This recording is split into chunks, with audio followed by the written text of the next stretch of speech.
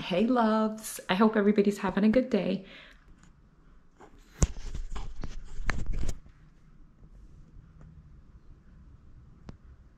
Your father knows exactly what you need even before you ask him. And say something this morning. I just came from the eye doctor and was praying last night that when I went to the eye doctor, I wouldn't have glaucoma because uh, for everybody in the family, um, you'll already be aware of this that obviously our queen has glaucoma, um, cataracts, and you know, even has like vision loss with her peripheral vision. And so last night, as I was um, making dinner for her and caring for her, uh, she was you know, just saying, good luck at your eye doctor's appointment. And then later when I call, she's like, and I just really hope you don't have glaucoma as well. And I was thinking about that and literally praying about it last night. And then this morning, I, you know, I almost prayed for it again, like, please God, don't let me have glaucoma. You know, I know at some point it may come. Um, I'm 47, it's a possibility. But, you know, right now, I'm hoping that I never get it. But if I do, maybe 60s, 70s, because obviously it can rob you of your vision and, and so forth. Um, and this morning I thought about praying about it again. And I was like, okay, what is it? You think God didn't hear you last night when you prayed about it? I mean, of course, He's God, He heard you.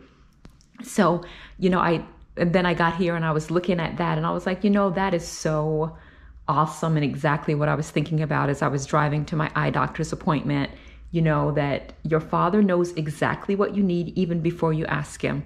So, yes, I'm a Christian. I'm praying all the time. You know, I'm always talking to him about things. I've watched him work so many miracles. But um, I just thought, you know, that's great to share because um, sometimes we forget uh, that God already knows what we need, He knows what we're thinking. So, obviously, you know, if you pray for something, you certainly don't have to repeat the prayer.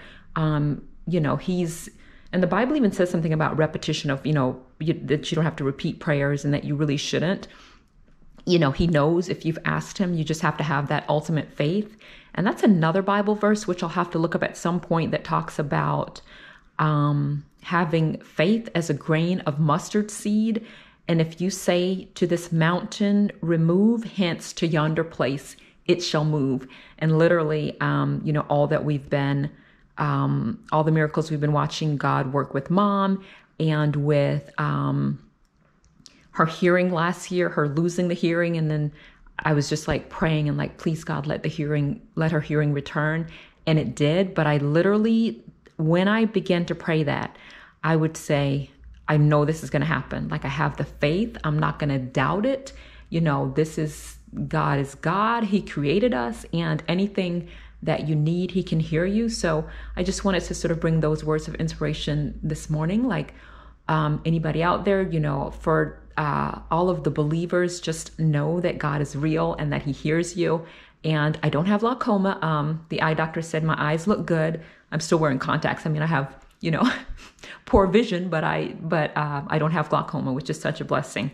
Um, and she was saying, you know, so at some point, you know, in your 50s, um, and beyond, you know, then we'll really start to, you know, get more into um, testing for it and everything because of course you know if something affects somebody else it can affect you at a certain point.